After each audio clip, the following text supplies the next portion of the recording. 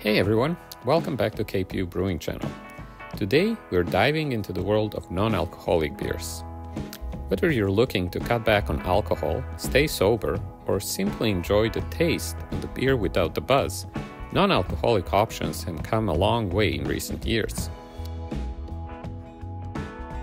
We'll look at major reasons which are driving the growth of this sector, explain challenges, and explore existing options for producing non alcoholic beers. Finally, we'll walk you through a process of brewing a non alcoholic beer. The non alcoholic beer market has seen impressive growth, with demand surging as more consumers seek healthier, alcohol free alternatives.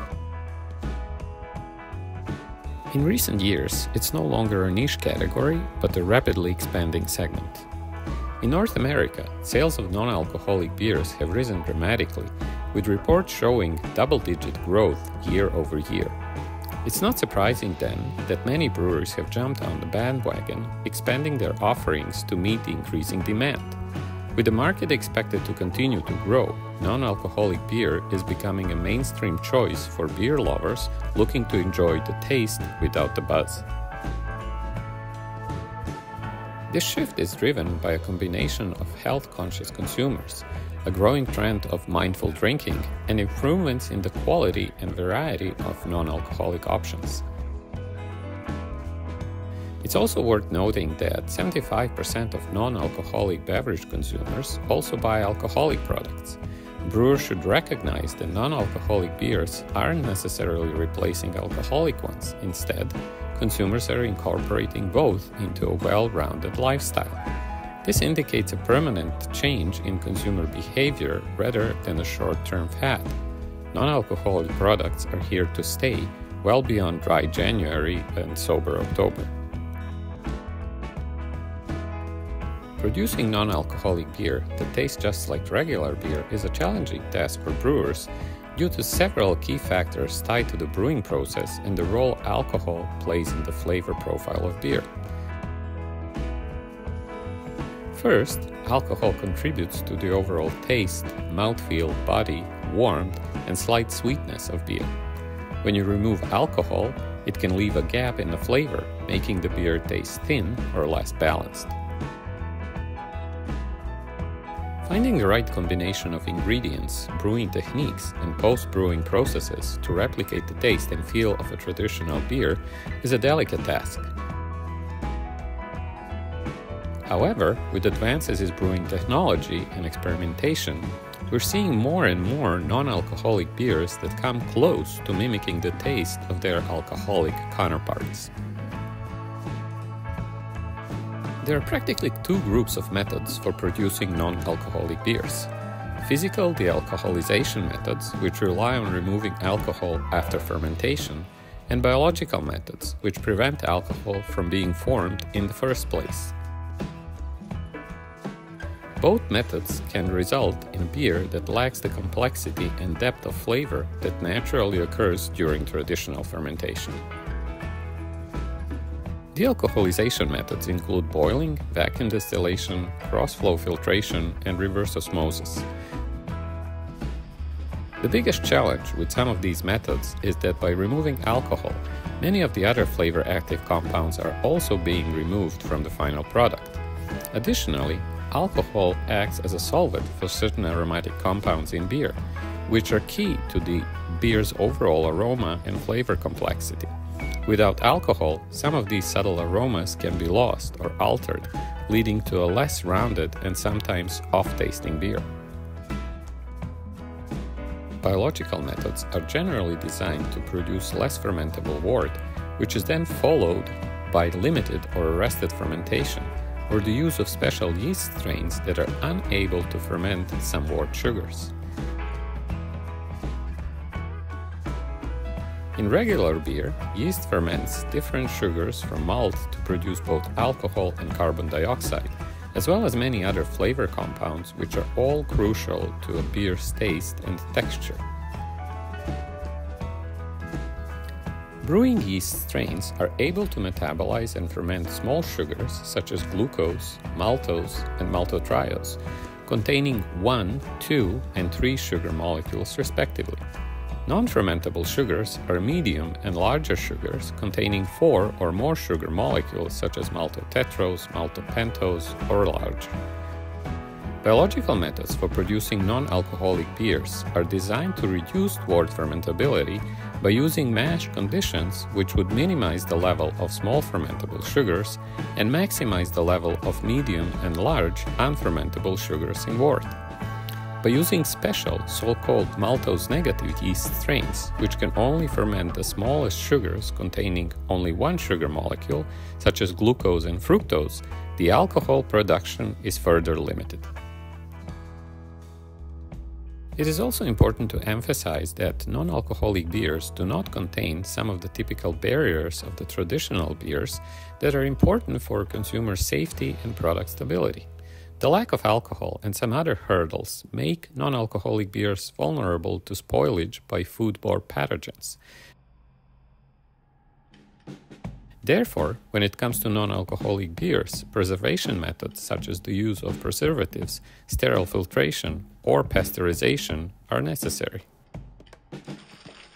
Since dealcoholization methods require specialized and very expensive equipment, we are going to focus on producing non alcoholic beers by using a combination of biological methods. Brewing non alcoholic beers might be easier than you think. It can also be less expensive, it's much faster, and most importantly, it is fun to brew. So let's get started. For this non alcoholic project, we are brewing a non alcoholic pale ale on our small brewing system. The creation of this beer will require pasteurization to ensure food safety of the final product. In the absence of alcohol, we must rely on pH, the antimicrobial properties of hops, and pasteurization to ensure the food safety of the finished product. We have chosen a pale ale in the hopes that the style will hide or complement some of the characteristics features that can arise during the use of maltose negative yeast strains and the arrested fermentation.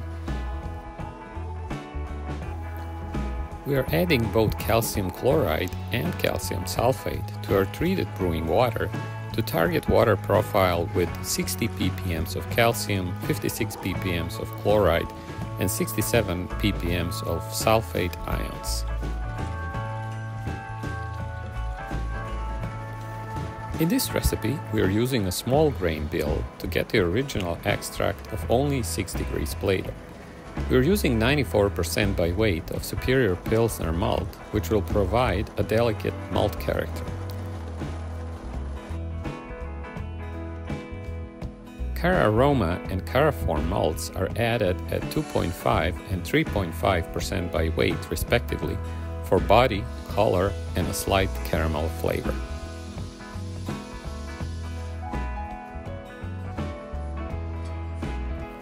We have decided to do a few experimental mashing trials at various temperatures to compare the sugar profiles of different worts.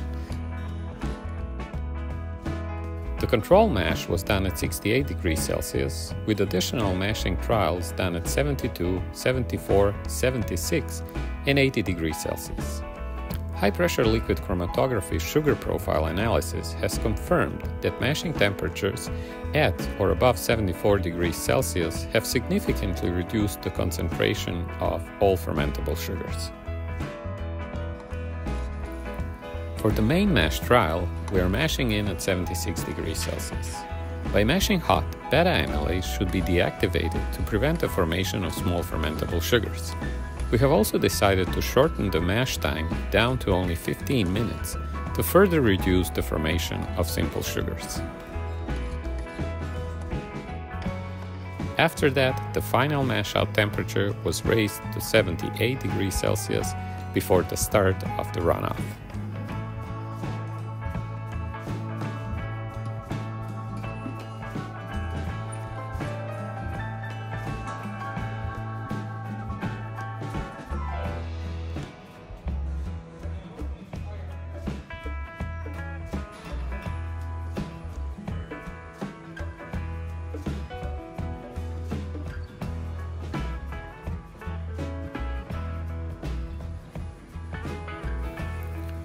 After collecting our first runnings in the kettle, we are sparging with 80 degrees Celsius water.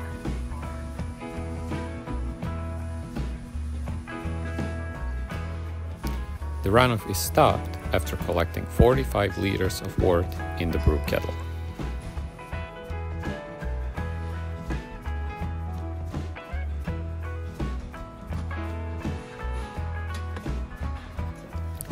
We are doing a 60 minute boil. At the start of the boil, Cascade hops are added for bitterness. We are targeting 30 IBUs, and 90% of the bitterness comes from Cascade. Controlling the pH of wort and beer is very important. Since there will be little to no alcohol in the final product, there are less defenses in the beer against pathogens and spoilage microorganisms. The pH of kettle knockout wort should be checked just before the end of boil and adjusted to 4.5 prior to whirlpool. As a general guideline, 3 milliliters of lactic acid per 9 kilograms of grain can be used to reduce the wort pH by 0.1. Kettle knockout target is 42 liters of wort at 6 degrees Plato. As soon as the one hour boil is complete, it's time to start the whirlpool and add 36 grams of Comet for some citrusy fruit notes.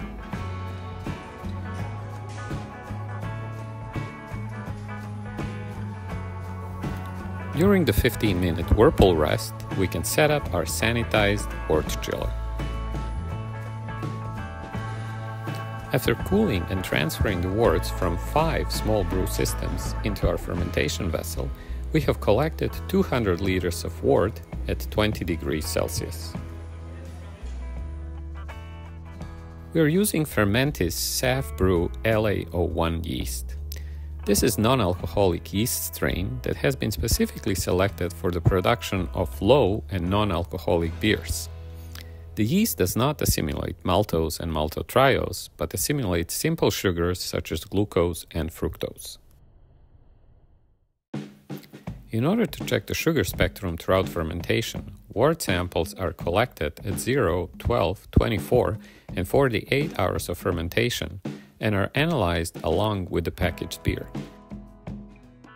The results have confirmed that the yeast is maltose negative and is only able to metabolize simple sugars. After two days of fermentation at 20 degrees Celsius, the temperature in the fermentation vessel is set to 1 degree Celsius and the beer is crash cooled. At the end of fermentation, final apparent extract was 5.2 degrees Plato and final alcohol content was just below 0.5% volume per volume. After 7 days of aging at 1 degree Celsius, lactic acid was used to adjust the pH to 4. Sheet filter was used to filter the beer as it is being transferred into the bright beer tank. Beer was forced carbonated to only 2.2 volumes of CO2 because of high levels of target pasteurization units in order to prevent can bursting from happening.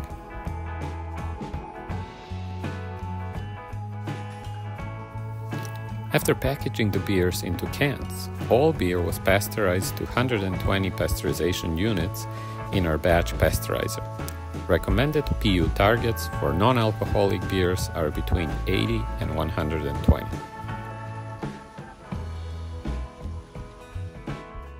This non alcohol pale ale is clear with a slight amber color. It is very refreshing and well balanced beer with some good hop bitterness and citrusy aromas. Cheers!